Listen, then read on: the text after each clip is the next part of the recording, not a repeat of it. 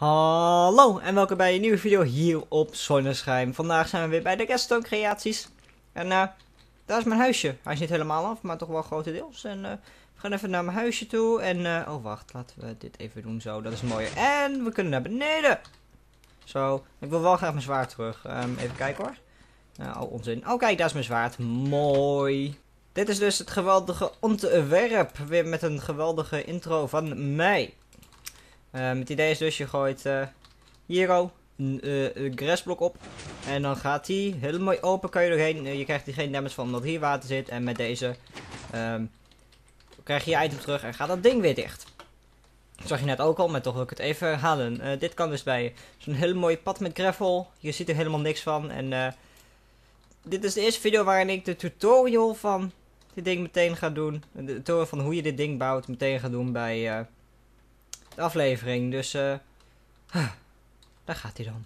Oké, we beginnen. Dit is je mooie, je mooie padblok. Dit is het blok van je pad waar je, waar je zo overheen loopt. Lalalala. Daaronder zet je een hopper neer met een uh, dropper. Als het goed is heet die dingen zo. recht naar beneden. En uh, aan deze dropper zet je zo blokje in zodat je een comparator kan zetten. En aan die comparator vast maak je een redstone torch. Uh, als het goed is valt je op dat als je dit doet, pakt dat ding hem niet op. wat, wat moet je doen? Um, dat zal ik je even uitleggen. Eerst moet je iets neerzetten.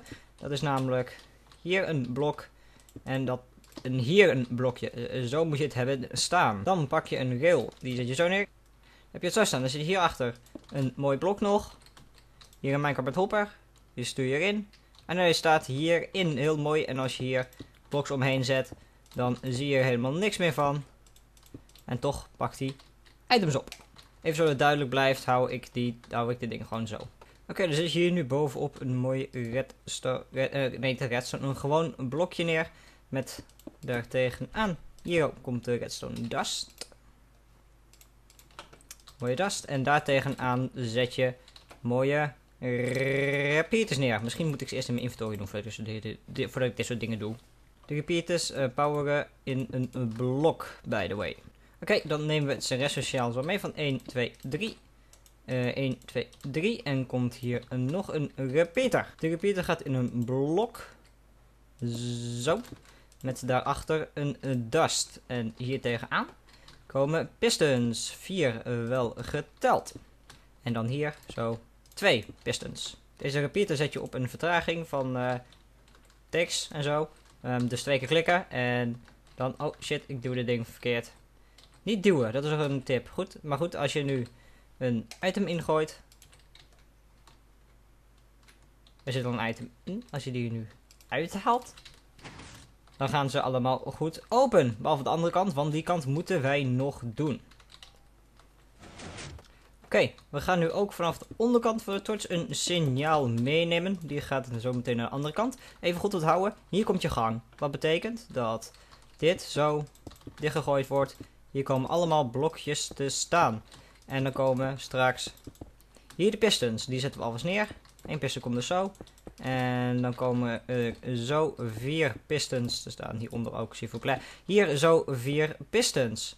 En hier komt dus ook je padlok. Ik heb uh, gravel gebruikt bij uh, dat pad. Maar maakt eigenlijk niet zoveel, zoveel uit wat je gebruikt.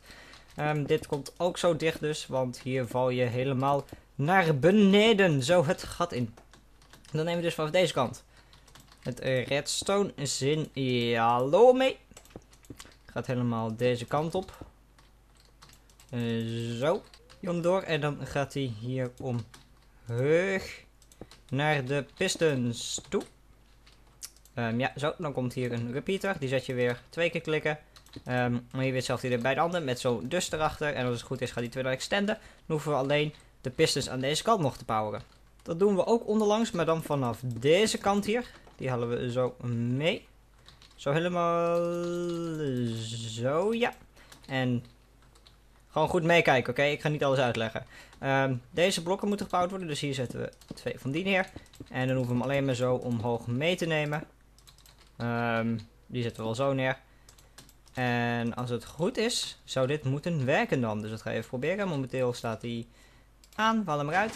Hij gaat dicht en we doen het weer zo. En dan gaat weer open. Dit gedeelte werkt. En als je in zit en je wilt fall damage voorkomen, dan zet je hier simpelweg zijn ze neer. met die boven water. Ongeveer zo. En als je dan hier doorheen valt, zo op de plop, geen damage. Deze kunnen nog hoger. ehm, maar niet heel veel hoger, want hier heb je redstone lopen. Eh, hoe we dat gaan doen is heel simpel. We pakken de slabs erbij. Want dit is hoe ik dat heb gedaan. Pak je slabs. En je moet hier gewoon twee slabs neerzetten. En dan is alles goed. Dan kan je deze eventueel openhouden of wat dan ook. Ik heb zelf hier gewoon een slabdak ingezet, omdat ik dat wel mooi vond. Oké, dan gaan we de button aan de slag. Die zetten we denk ik hier neer en dan komt hier de chest. Ehm, hier kan je een beetje kijken hoe je het wil doen, maar het is niet een hele vaste volgorde voor. Een chest is, is chest. Oké, ik, moet, ik moet leren mijn spullen te pakken en dan pas aan de gang te gaan. Maar goed. Zo, hier naar beneden heb je iets nodig om het item doorheen te laten gaan. Ik gebruik meestal glas. Gewoon zodat ik het in de gaten kan houden. Moet ik wel glas hebben natuurlijk. Hebbes. Gebruiken we glas om mee naar beneden te gaan. Zoals ik net al zei. Heel mooi. Eh pa. Zo ja.